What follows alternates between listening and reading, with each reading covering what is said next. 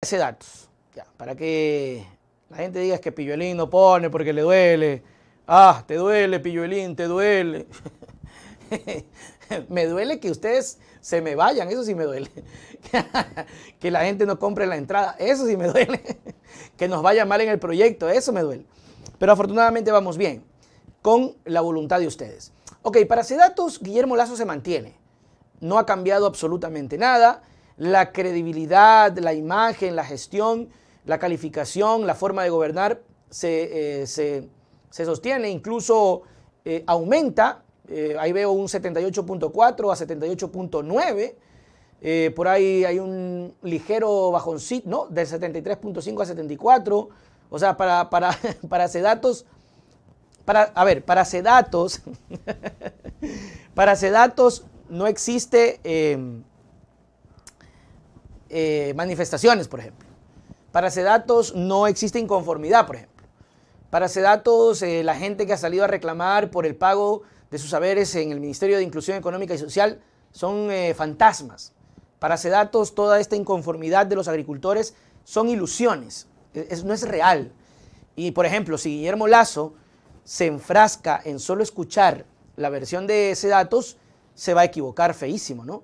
Ve ahora mismo, eh, dentro de la portada que habíamos hablado, el, eh, señor Pascual del Chopo es la primera, bueno, ya no es la primera, es la segunda, la tercera, pero es una baja del gobierno terrible. Pues. El señor eh, Pascual del Chopo se fue haciendo barbaridades.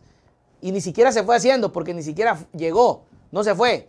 Recién este mes tenía que irse a posesionar y acaba de renunciar. Entonces son cositas que para Sedatos no han ocurrido, por ejemplo no pasa nada. No sé, para, para Guillermo Lazo entra a la asamblea y todo el mundo lo recibe con brazos abiertos. Para Sedatos, eh, el tema de la educación no es problema. Tal vez Sedatos está de acuerdo en que la gente más humilde pague. Eh, vagos de miércoles, así de decir, ¿no? Vagos de miércoles que les cueste, porque esa es la mentalidad de algunas personas, ¿verdad? Ok, pero estos son los números de Sedatos, ya, para que no se me enoje. Ahora póngame los datos de perfiles de opinión. Ahí se, ya se configura un, una gran diferencia, ¿verdad? Y un dato curioso, mis, queridas mis queridos amigos. Estas mediciones, que ya las vamos a escuchar de parte de la señora Paulina Recalde, son solamente de julio a agosto. En un mes. En un mes, mis queridos amigos. ¿Ya? Por, todo lo que ya vamos a eh, presentarles con Paulina Recalde. Ahí está clarito. No sé si de pronto podemos hacer eso más grande, mi querida producción. A ver si lo logramos. Porque ustedes saben, ¿no? Ya la edad de uno se complica. Ecuador Inmediato, un saludo para nuestros amigos de Ecuador Inmediato. Perfiles de opinión. Calificación positiva pasa del 72% al 64%. La credibilidad de Guillermo Lazo pasa del 70% al 59%. La imagen pasa del 81% al, 70%. ¿Ok? Eh, claro, muchos van a decir, no, pero son datos todavía como que, oh, bien. Sí, sí, sí. Pero hay que decirlo, pues. Y hay que decirle que las cosas van en. Eh, todavía puede ir esto de acá, o se estabiliza o se empieza a caer. Ahora, un dato interesante un dato interesante que lo decía precisamente la señora Paulina Recalde. Todo presidente, tomando en cuenta el desastre que dejó Lenín Moreno, que para Lazo no existe Moreno, todo presidente siempre ingresa con calificación de expectativa. Es lo que yo decía. Yo siempre sostuve que para mí los, datos eran de expectativa, expectativa o expectativa. Y que ahora ya se están viendo las realidades. Y que incluso ni siquiera es eso, porque todavía Lazo no entra a trabajar de lleno en políticas eh, realmente eh, necesarias. No lo hace, porque sabe que no tiene el respaldo en la Asamblea y ya andan incluso amenazando. Ya vamos a ir al, tema de las amenazas. Entonces, eh, ha habido una luna de miel, ha existido una luna de miel que la sigue apuntalando con el tema de la vacunación. Básicamente ese es el punto eh, positivo, el mayor. ¿no?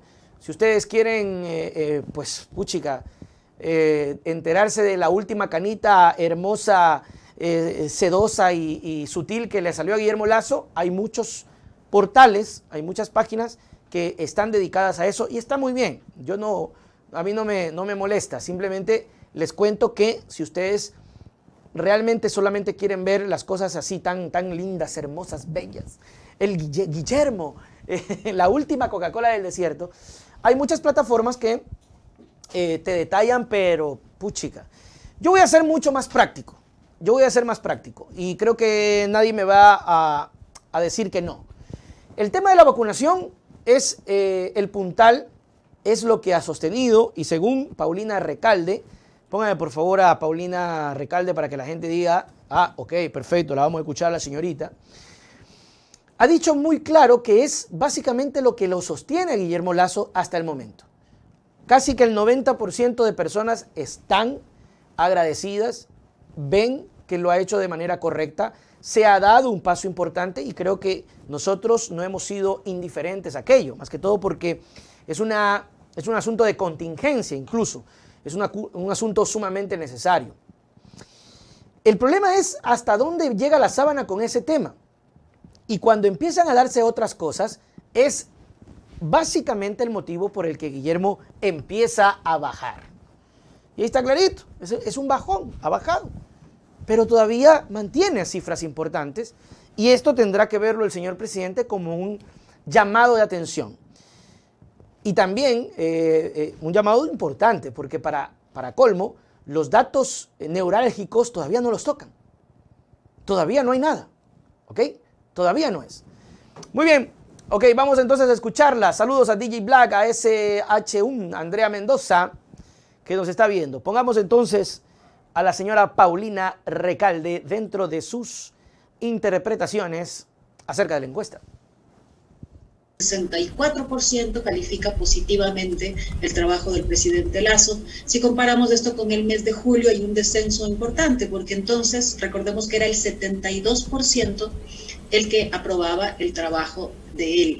En términos de credibilidad, hasta el 13 de julio tenía el 70% de credibilidad, ahora esta cifra desciende al 59% en términos de imagen, hasta el 13 de julio el 81% tenía una imagen positiva del presidente Lazo y esto desciende al 70% en la encuesta del 23 de agosto. Es decir, los tres indicadores más importantes, gestión, imagen y credibilidad, se han visto afectados entre julio y la última medición, aquella que marca ya la medición de los primeros 100 días de gobierno. ¿Por qué considera usted ya en el análisis que se ha visto esta afectación entre julio y agosto en la imagen del presidente Lazo? Yo creo que hay que decir algunas cosas. Las cifras con las que arranca un gobierno nacional siempre son cifras de expectativas más que de evaluación. Mm. Desde este primer empujón de entrada que marca el contraste con el, el gobierno del presidente Moreno que tenía cifras muy bajas, Dos, este importante hito que marcó, que ha marcado los primeros 100 días de la gestión en el plan de vacunación. De hecho, el 91% está satisfecho con este plan de vacunación, pero a la par de este hito, el del plan, ha sucedido una serie de, eventos, de acontecimientos que enrarecen la gestión más fluida y la gestión de la política. Sobre todo si pensamos en cuál es la relación que tiene la palabra con la Asamblea Nacional, los propios anuncios de la ministra de la Política el día de ayer diciendo que si continúa este bloqueo, en palabras de, la ministra, se puede eventualmente llegar a un escenario plebiscitario o a tomar otras medidas democráticas, ha dicho la, ministra, esta tensión, y luego la conflictividad social general, que es una conflictividad que viene eh, como continuidad del periodo anterior, que estuvo de algún modo represada, pandemia de por medio, eh, y que se ha expresado, por ejemplo, en la huelga de los, de hambre de los educadores, en las expectativas y advertencias de la CONAIE eh, de movilizaciones, más recientemente también los comunicados de los rectores de universidades, reclamos por los recursos asignados y las dificultades para otorgar eh, becas. Es decir, en términos políticos, no ha habido una acumulación de parte del gobierno del presidente Lazo, no ha sumado aliados. Por el contrario, estos días han significado abrir varios frentes, distanciamiento y en el legislativo, eh, yo diría, soledad Importante, ¿no? El análisis que nos eh, daba quienes eh, estuvieron al frente de la realización de esta encuesta, esbozando básicamente lo que ya hemos mencionado, lo que hemos dicho, que está apuntalándose el tema eh, sobre el plan de vacunación, y, pero yo le decía incluso hoy día en la mañana con Mauro, ¿hasta qué hora o hasta cuándo o qué puede ocurrir? Porque no, no puede sostenerse y no va a poder sostenerse solamente de aquello. Sigamos. Entre los que califican negativamente la gestión, en cambio, ahí el 28% dice no hace absolutamente nada por el país. Eh, algo más de la, de la cuarta parte dice no cumple con lo ofrecido en campaña. El 13% no hay fuentes de empleo.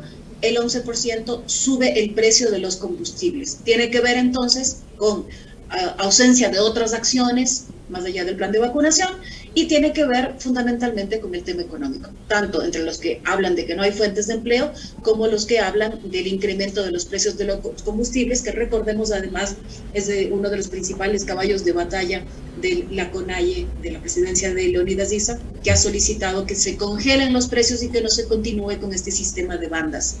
El problema podría ser, por lo que desmenuzamos ya con las razones para calificar positivo o negativamente, el problema podría ser que el gobierno haya colocado por ahora todo su despliegue logístico, su discurso y demás, solamente en el plan de vacunación, que no es menor, por supuesto, es un hito, es un hito porque lo ha hecho eficientemente, pero mientras tanto lo que ha sucedido alrededor es una contrariedad, sobre todo en el ámbito de lo político y varias demandas que están en este momento en el orden de lo, de lo urgente. Totalmente clara la señora Paulina Recalde en estas lecturas. Creo que eh, debería, hablando desde lo razonable, el presidente de la República tomar en cuenta, si yo fuese presidente, si yo fuese Lazo, yo escuchara a Paulina más que a Polivio.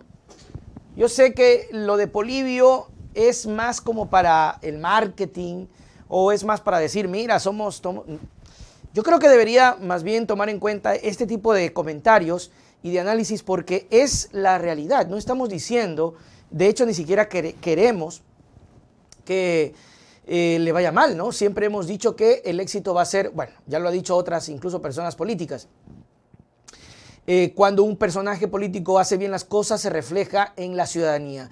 Y si Guillermo Lazo tiene este, este bajón en un mes, que esto es, esto es también de tomar en cuenta, no es que, no es que ha bajado, ay, en tres meses, no. En julio, eh, setenta y pico, en este mes, sesenta y pico. O sea, son casi 10 puntos, etcétera, dependiendo, no tengo bien la cifra, pero es tremendo en un solo mes. Y otra cosa, todavía la gente no está palpando la realidad porque son solo anuncios. Si Guillermo Lazo no toma un correctivo claro y las cosas se empiezan a, concretar o a consumar dentro de las esperaciones de las personas, la cifra puede eh, seguir descendiendo. ¿no? Y eso es, eso es preocupante porque no le hace bien al país. Creo que debería el presidente darse cuenta. Esto va de la mano de las políticas que ha presentado. Creo eh, que es la respuesta de la reducción del presupuesto, de no haber cumplido con sus promesas. Ya vamos a, ya vamos ya mismo a pasar a, esas, a esa partecita. Solamente quiero cerrar esto eh, dejando en claro el análisis y la lectura eh, de estas dos encuestadoras en torno a la imagen del presidente Lazo.